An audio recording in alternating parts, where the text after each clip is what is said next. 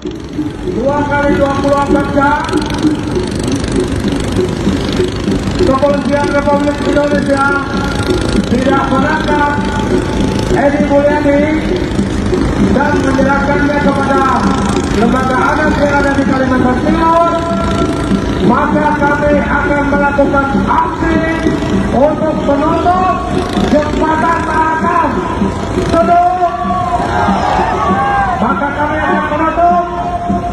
jembatan Mahakam agar tidak membawa hasil bumi kami yang ada di Kalimantan hanya untuk orang-orang kadrun yang ada di Jakarta seperti Edi Mulyani TS.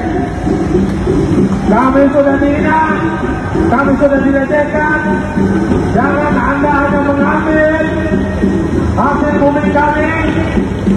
tetapi Anda tidak berterima kasih. Kami ingatkan kembali bahwa menurut Gubernur kami Kalimantan Timur, kami menyetor 500 triliun. Tapi dikembalikan ke Kalimantan Timur hanya 20 triliun. Ke mana yang lainnya? Itu tidak cukup.